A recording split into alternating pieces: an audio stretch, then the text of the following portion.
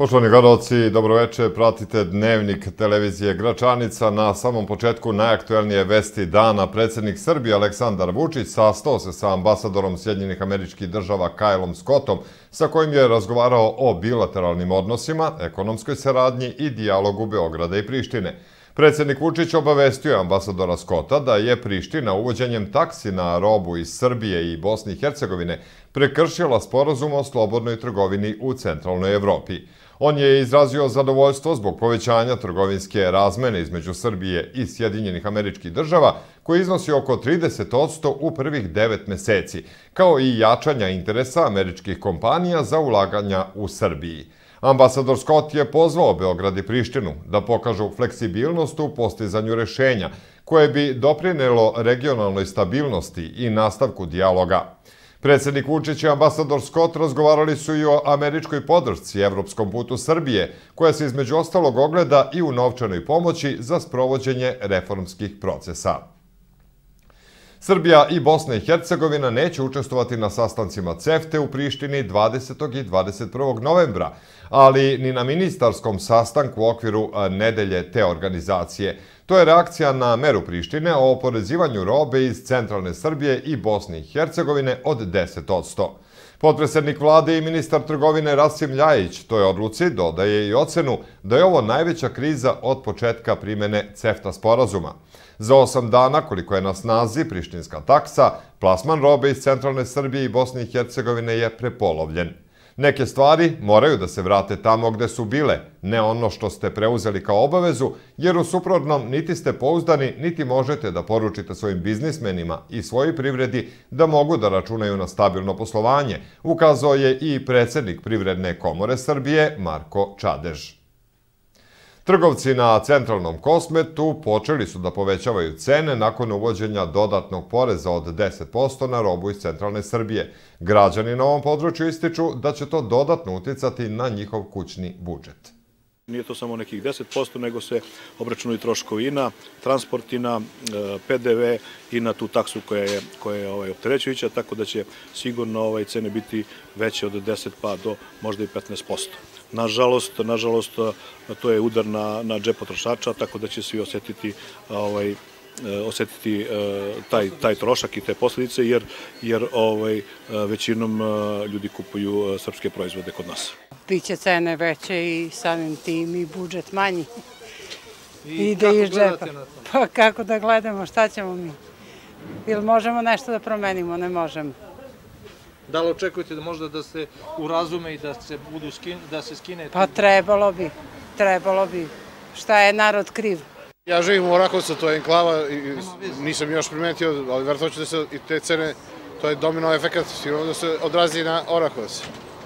To nisu neke ove korektne odluke, ali prosto mora, moramo da prihvatimo to, nažalost. Ako, ako ovaj, ne možemo da utičemo na, na to da se ovaj, na neki drugi način to menja. Da, jednostavno smo prinuđeni na to da, da prihvatimo to. Mi moramo da kupujemo tu robu.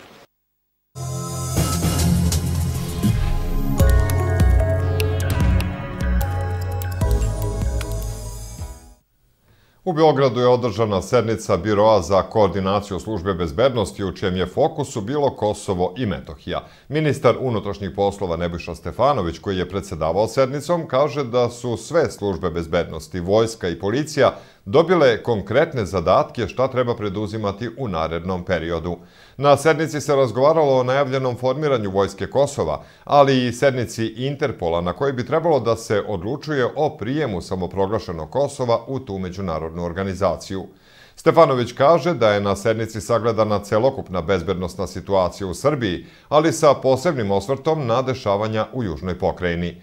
Zabrinjava najava formiranja takozvane Vojske Kosova, što je u suprotnosti sa svim međunarodnim pravnim dokumentima, rezolucijom 1244, ali i garancijama koje smo dobijali da bez Srba takva odluka neće moći da bude doneta, a glasove Srba za to nema, istakao je ministar policije. On dodaje da je zadatak Srbije da na ozbiljan način odgovori na sve izazove i da spreči nestabilnost i nešto što bi moglo da ugrozi bezbednost ne samo Srba na Kosovu i Metohiji, već i šire od toga.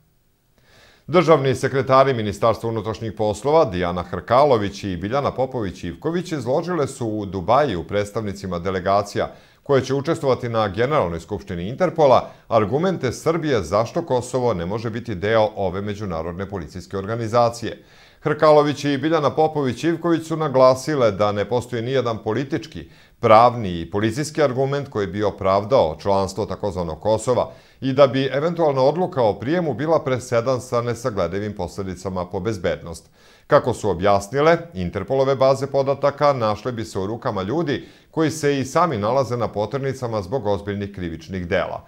Hrkalović je ukazala na činjenicu da Prištini nije cilj da članstvom u Interpolu radi na jačanju kapaciteta za borbu protiv organizovanog kriminala i terorizma, već da zloupotrebi ovu međunarodnu policijsku organizaciju radi daljeg afirmisanja jednostrano proglašene nezavisnosti takozvanog Kosova. Popović-Ivković je istakla da i samo razmatranje zahteva takozvanog Kosova za članstvo predstavlja apsolutni pravni presedan. Potpredsednik Srpske napredne stranke Marko Đurić sastao se sa predsednikom Komisije za međunarodnu saradnju Generalnog saveta Jedinstvene Rusije Andrijom Klimovim. Na sastanku je pokrenuta inicijativa da se posle susreta predsednika Aleksandra Vučića i Vladimira Putina u januaru 2019. godine organizuje i sastanak Srpske napredne stranke i Jedinstvene Rusije na najvišem partijskom nivou. Sagovornici su konstatovali da Srbija i Rusija, kao i dve vladajuće stranke, dele mnoge zajedničke vrednosti i da postoji veliki potencijal za snaženje i produbljivanje saradnje. Prema Đurićevim rečima, Srbija, zahvaljujući ekonomskom rastu, jača i odbrambene kapacitete i nastavit će da ljubomorno čuva svoju vojnu neutralnost. Đurić je zahvalio Rusiji na doslednoj podršci Srbiji u nastojanjima da odbrani svoje državne i nacionalne interese, ističući da se i dalje najsnažnije pritisci na Srbiji vrše po pitanju Kosova i Metohije. Austrijski kancelar Sebastian Kurz pozvao je na radni doručak u ponedeljak u Beč premijere zemalja Zapadnog Balkana, a među njima će biti i predsednica vlade Srbije Ana Brnabić. Sastanku će prisustovati i Evropski komesar za proširenje i susedsku politiku Johannes Hahn, kao i komesar za digitalnu privredu i društvo Marija Gabriel. Najavljeno je da će biti razgovarano o tri teme, o evropskoj perspektivi Zapadnog Balkana, o regionalnoj saradnji i o bilateralnim konfliktima.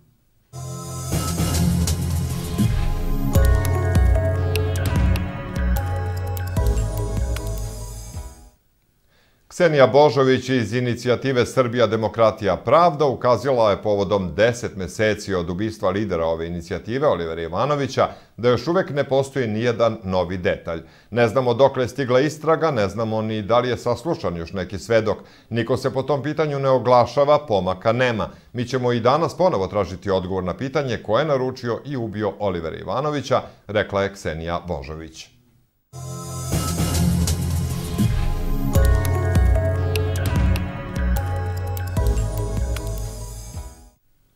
U nastavku vesti sveta, neki poslanici konzervativne stranke u Velikoj Britaniji za plan premijerke Tereze May o napuštanju Europske unije tvrde da je kapitulacija, koja će učiniti da Britanija i po napuštanju tog bloka u martu 2019. godine i dalje bude podređena pravilima Europske unije.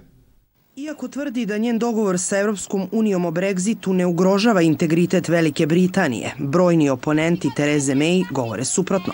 Nezadovoljni nacrtom sporazuma, nekoliko ministara podnelo je ostavke, uključujući ministra za Brexit Raba, koji je uveren da ga parlament neće usvojiti i da slede novi pregovori. Usledilo je 48 pisama konzervativnih poslanika u kojima traže glasanje o nepoverenju Mejovoj. Ona im poručuje da imaju jasan izbor, ili da podrže njen sporazum, ili da Brexita ne bude – Lideri Evropske unije su takođe izričiti. O novim pregovorima nema ni reči. Verovatnije je, kažu u Briselu, da zbog političke krize u Britaniji sporazuma neće ni biti. A prvi put su dvojica lidera crvenih kmera, nekada vladajuće partije u Kambođi, proglašena krivim za genocid nad Čam, muslimanima i vijetnamcima tokom 70. godina prošlog veka. Njima je suđeno pred sudom koji podržavaju Ujedinjene nacije. Sud Ujedinjenih nacija prvi put je doneo presude protiv vodećih zvaničnika crvenih kmera za genocid, četiri decenije nakon okončanja jednog od najbrutalnijih režima u istoriji Kambođe, odgovornog za smrt oko 2 miliona ljudi. Zbog zločina protiv čovečnosti, doživotnu zatvorsku kaznu služit će vremešni Nuon Chea, poznatiji kao brat broj 2, i bivši predsednik Kje Sam Fan.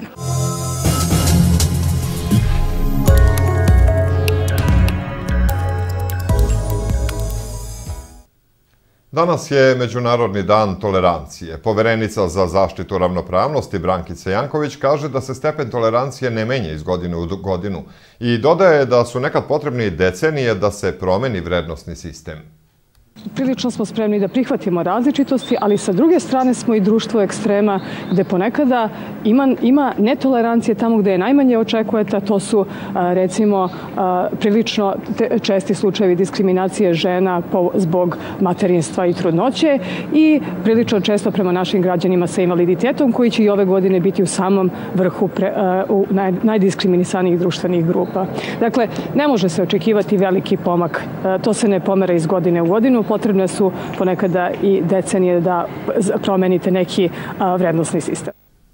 Pri internoj klinici Kliničko-bolničkog centra Priština-Gračanica otvoren je centar za hipertenziju i prevenciju infarkta i šloga, prvi ovakve vrste na Kosovu i Metohiji. Zahvaljujući udruženju Hispocentara Srbije pri internoj klinici KBC-a Priština-Gračanica otvoren je centar za hipertenziju, prevenciju infarkta i šloga, Ovaj HISPA centar gde se sada nalazite danas u Lapljim selu je jedna sigurna kuća za one ljude koji žele da brinu o svom zdravlju. I ono što je po meni najvažnije, onaj koji traži pomoć ima mesto gde će dobiti tu pomoć na najadekvatniji način. Naše stanovništvo je potrebna prava informacija, potrebno je da ljudi znaju kako da, korigujući svoje životne navike i uopšte stil i način života, pomognu sebi u smislu izbjegavanja ili sprečavanja vrlo ozbiljnih i teških oboljenja koje opterećuju e, čitavo svetsko, čitavo čovečanstvo, a posebno ovaj naš region ovde. Mislim da će ovaj, funkcionisanje ovog centra biti vrlo uspešno, obzirom da stvarno imamo kvalitetne kadrove koji time mogu da se bave. U okviru interne klinike Kliničko-bolničkog centra Priština imamo aparate kojima možemo obavljati kompletnu neinvazivnu kardiološku diagnostiku. Međutim, evo danas, zahvaljujući HISPA centru iz Beograda, zahvaljujući profesoru Tasiću i zahvaljujući firmi RB Medical Company iz Beograda i njenom direktoru uh, Borisu Kneževiću, mi dobijamo nov, najnoviji uh, za 24-časovno ambulatorno merenje krvnog pritiska, i svakako ćemo taj nivo zdravstvene zaštite podići na jedan viši nivo. Predsjednika udruženja Hispocentara Srbije sa saradnicima i predstavnike KBC-a Priština Gračanica primio i gradonačelnik Gračanice Srđan Popović. Danas smo imali sastanak sa doktorom Tasićem koji isto tako e, veoma zainteresovan da pomogne naš e, zdravstveni e, sistem ovde.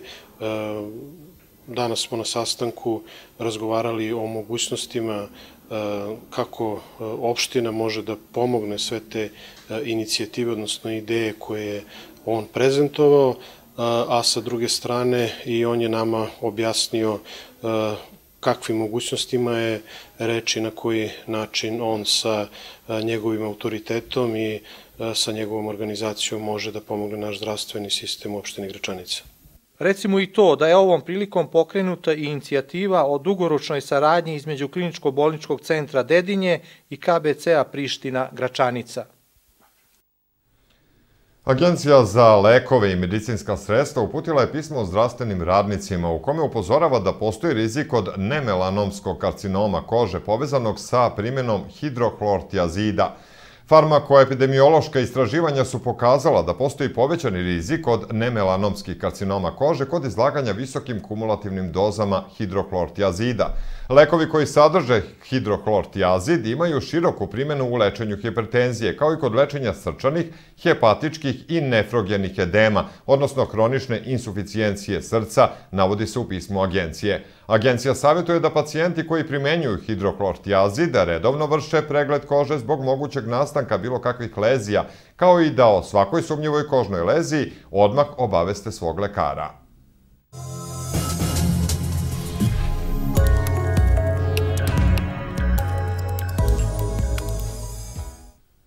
Novak Đoković igra protiv Marina Čilića meč treće kola grupe Gustavo Kirte na završnom turniru u Londonu. Naš teniser je već obezbedio plasman u polufinale, ipak, kako je i sam najavio, ide na pobedu u duelu protiv Marina Čilića. Đoković je prethodna dva duela savladao prvo Amerikanca Iznera, a potom i Nemca Zvereva. Susret počinje u 21 sata, direktan prenos je na kanalima RTS-a.